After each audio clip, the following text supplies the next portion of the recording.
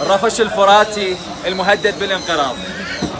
هذا الحيوان ينصاد بصورة غير قانونية ينقتل لأسباب عديدة. أولها خوف الناس والجهل وثانيا الخرافات اللي موجودة أنه على أساس الدهن مال هذا الحيوان مفيد لعلاجات كثيرة وكلها كذب وافتراء. هذا الحيوان مهدد بالانقراض.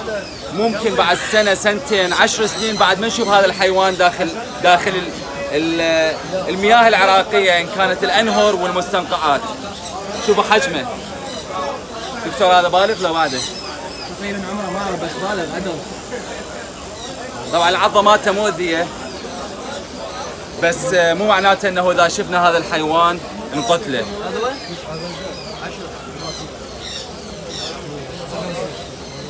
هذا هو؟ بس اكد منهم الا حتى من بالطبق يعني 38